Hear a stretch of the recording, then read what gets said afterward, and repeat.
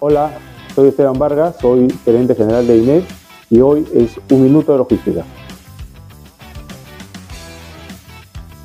3PL es una empresa que brinda servicios a varios sectores para poder eh, asegurar ¿no? su cadena de abastecimiento y lo que busca las empresas cuando tercerizan sus servicios es no invertir, mejorando, bajando sus costos y mejorando las productividades.